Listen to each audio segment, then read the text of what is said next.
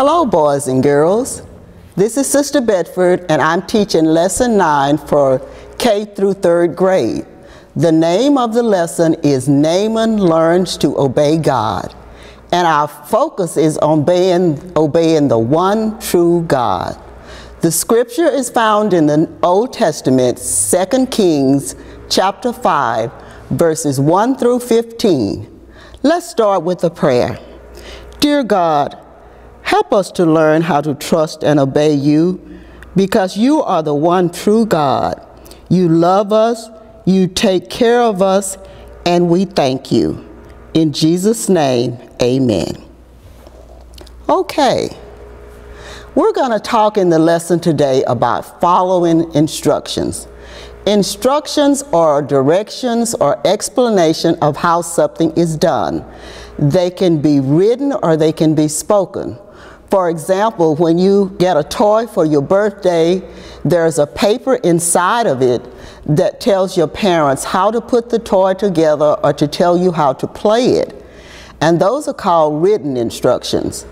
Now, when your parents tell you something to do at home, like to clean up your room, do your homework, those are spoken instructions. What happens when you follow instructions? Let's look at a couple of examples. For instance, instruction number one could be listen to the teacher and take notes. And this would be so you could make a good grade on your test. So is this girl listening? Yes, she's following instructions. She's listening and taking notes. So what happened when she obeyed and followed the instructions? She made a good grade on the test the teacher gave on Friday.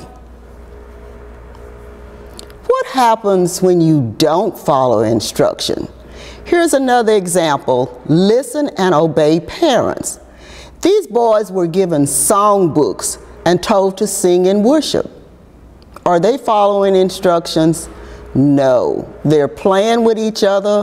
One has a frog in his lap that he was told to leave home. No one is singing.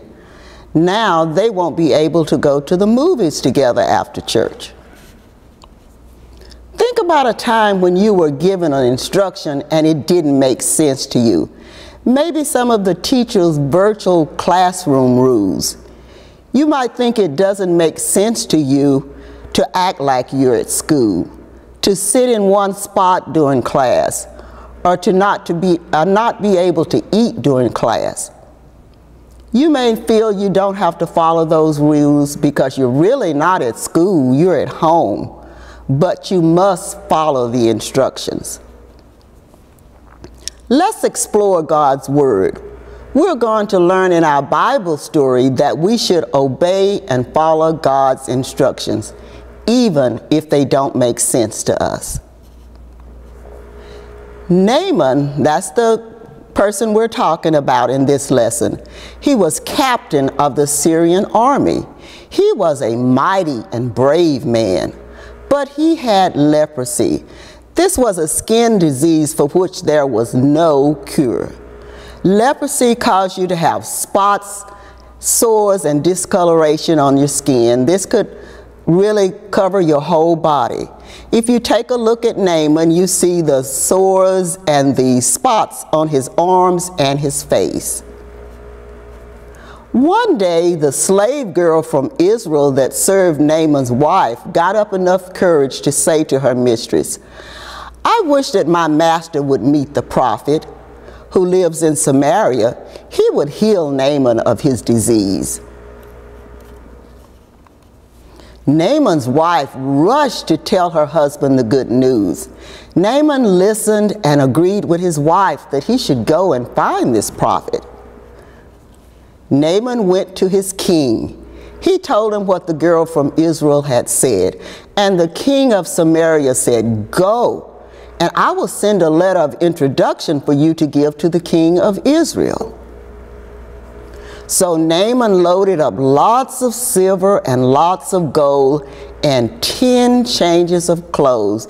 Can you imagine taking 10 changes of clothes?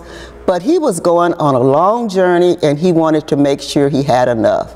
The king waved and sent Naaman off on his journey to Israel, hoping that he would, turn, would return healed. When Naaman came to the king of Israel, Naaman's servant handed him the letter of introduction from the king of Syria. The letter from the king of, to the king of Israel read, I am sending my servant Naaman to you. I'm sending him so you can heal him of his skin disease. The king thought, What? Then he tore his clothes to show how upset he was. I'm not God. Why does this man send someone to me for me to heal of a skin disease? He is just trying to start trouble with me. Meanwhile, the prophet of God, Elijah, heard that the king of Israel had gotten so upset he tore his clothes. So he sent a message to the king of Israel. Why have you become so upset that you tore your clothes? Let Naaman come to me then he will know there is a prophet in Israel. So Naaman went with his horses and chariots to Elijah's house. It was a simple and poor house. This bothered Naaman. He also was bothered that no one came outside to meet him. After all, he was captain of the Syrian army. Elijah did not even come out of his house, but sent his servant out to meet him with a message. Go and wash in the Jordan River seven times. Then your skin will be healed and you will be clean. I don't think Naaman thought those uh, instructions made sense. Naaman became angry. He said, I thought Elijah would surely come out and stand before me that he would call on the name of the Lord his God, wave his hand over the place, and heal this disease. Why can't I wash in the beautiful rivers in Damascus and become clean instead of this dirty, muddy Jordan River? He was so angry, he ordered his men to leave at once. But Naaman's servants came near and talked to him. They said, my father, if the prophet had told you to do some great thing, wouldn't you have done it? Doesn't it make more sense just to do it? After all, he only told you, wash and you will be clean. So Naaman did as Elijah had said. He went down and dipped in the Jordan six times, and then on the seventh time, Naaman was clean and healed. He was so overcome with joy. He now knew that he was healed when no one else was able to heal him. Naaman had learned to obey the one true God.